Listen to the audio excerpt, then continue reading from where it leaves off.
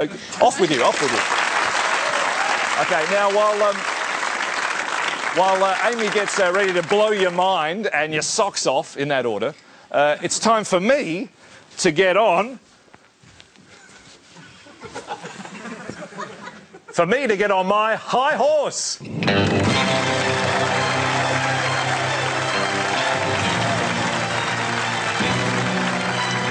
Yes, indeed. Alrighty.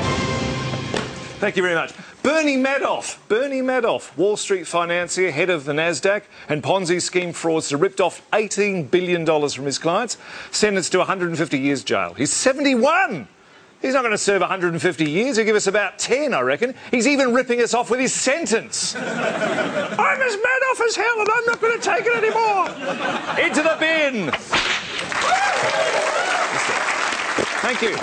Christmas and New Year's. No better time to enjoy the summer taste treat of an ice cream. And what better serving receptacle for it than a cone, handier than a spoon, less fuss than a ceramic bowl, and twice as edible. But have a look at this box of Coles generic brand cones. All right, a young girl justifiably surprised at being handed an ice cream the size of a wheelie bin. and I'd have taken this for artistic license were it not for this printed down the bottom. Serving suggestion. Australian youth in the pot-bellied middle of an obesity crisis in Coles are suggesting you eat your own body weight in dessert. and worse than that, look at this, look, all right? They just give you the regular cones, presumably expecting you to invent some sort of giganticising ray to shoot at it. Perhaps you're expected to fly off to an island in Japan where gamma radiation from nuclear testing will cause our ice creams to mutate Godzilla-like and rise from the ocean floor.